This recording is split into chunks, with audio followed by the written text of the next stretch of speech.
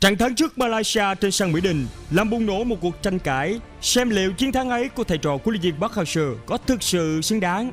Dù rốt cuộc cũng công nhận chiến công ấy xứng đáng, song chuyên gia bóng đá Shepby Sai của Sportbox đã có nhận định rất đáng suy nghĩ. Ở trận này, chỉ có Quang Hải chơi đúng đẳng cấp. Nếu anh ấy đá cho Malaysia, 3 điểm sẽ thuộc về đội khách. Nhưng đến trận thắng Indonesia ngay tại Bali, thì chẳng còn ai phải mắc công tranh cãi. Xem chiến thắng ấy liệu có xứng đáng hay không nữa.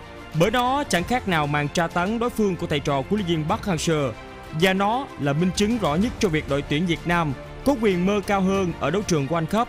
Bởi ngay giờ đây, họ đang nắm trong tay đủ cả thiên thời, địa lợi lẫn nhân quà.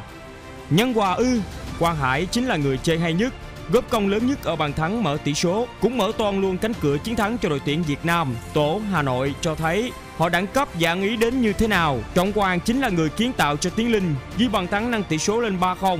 Còn Quế Ngọc Hải thì đã đích thực là một thủ lĩnh cả về tinh thần lẫn chuyên môn của đội tuyển Việt Nam. Nhưng đáng nói nhất phải nói đến Tiến Linh, rất nhiều chuyên gia đã dự đoán rằng thầy Park sẽ cho các học trò của mình chơi phòng ngự phản công. Nhưng không, với việc tung Tiến Linh vào sân ngay từ đầu, ông thầy người Hàn Quốc khẳng định luôn lối chơi tấn công sát dáng trước đối thủ khó nhằn ngay trên sân khách. Nếu như Công Phượng hay Anh Đức còn có thể đóng vai trò tiền đạo mục tiêu, thì với Tiến Linh, ông Park khẳng định ông chơi tấn công tuyệt đối, bởi Tiến Linh là vua dứt điểm một chạm của bóng đá Việt Nam. Mùa giải 2018, Tiến Linh là vua phá lưới nội của Felix với 15 bàn thắng. 15 bàn thắng ấy, tiền đạo này chỉ dùng tổng cộng có 21 chạm, trong đó 13 bàn thắng đến từ những cú dứt điểm một chạm.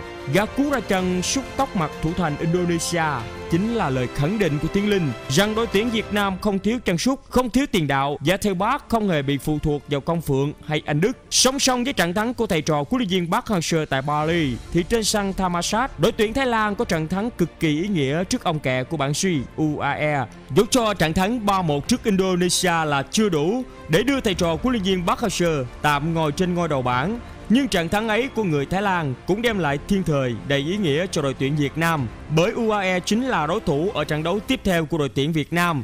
Trận thua trước Thái Lan chắc hẳn ảnh hưởng rất nhiều đến tâm lý của đội bóng Trung Đông. Trên Mỹ Đình vào tháng sau, chắc chắn UAE sẽ ra sân với tâm thế tìm kiếm một trận thắng để cải thiện vị trí của mình. Và một đối thủ như thế, lâu nay vốn đã cực kỳ hợp khẩu vị với thầy bác cũng như lối chơi mà ông từng cho các học trò của mình chơi cực kỳ nhuần nhuyễn. Một kết quả tốt trước UAE sẽ lại đưa đội tuyển Việt Nam vào tâm thế tự tin khi gặp lại đại kình địch Thái Lan. Trên Thammasat, thầy trò của viên Park Hang-seo đã có được một trận quà với Thái Lan và trên Mỹ Đình, một chiến thắng trước người láng giềng khó chịu sẽ không phải là bài toán quá khó để thầy trò ông Park giải bằng được. Thêm vào đó, việc được chơi cả hai trận đấu khó nhận trên sân Mỹ Đình vốn là thánh địa bất khả chiến bại của thầy trò của viên Park Hang-seo suốt 2 năm trời nay sẽ đem lại lợi thế cực kỳ lớn cho đội tuyển Việt Nam. Quãng thời gian một tháng trước mắt là quá đủ để các cầu thủ Việt Nam rũ bỏ sự mỏi mệt sau một mùa giải căng thẳng với V-League sẽ kết thúc rất nhanh sau trận đấu này. Các cầu thủ Hà Nội vốn là bộ khung của đội tuyển sẽ được hồi phục đầy đủ. Văn Hậu sẽ có thêm một tháng quà nhập và lĩnh hội thứ bóng đá đẳng cấp châu Âu. Bên cạnh đó, thầy Park sẽ có đủ thời gian để thử nghiệm các tân binh, làm điểm tựa cho sự đột biến về mặt chiến thuật của mình. Giấc mơ lọt vào được vòng chung kết World Cup thực tế vẫn cực kỳ xa vời với đội tuyển Việt Nam. Bản thân Thái Lan ở kỳ World Cup trước dù lọt vào đến được vòng loại thứ ba cũng bị bạc bãi thê thảm với 10 trận đấu mà thua đến 8 qua 2. Nhưng nếu vượt được qua Thái Lan và UAE để cướp mặt ở vòng loại cuối cùng này, thầy trò của luyện viên Park Hang-seo sẽ có được sự cọ sát đầy ý nghĩa với những đội bóng hàng đầu châu lục. Kinh nghiệm ấy sẽ là hành trang quý giá cho các tuyển thủ trên con đường chinh phục vòng chung kết World Cup trong tương lai.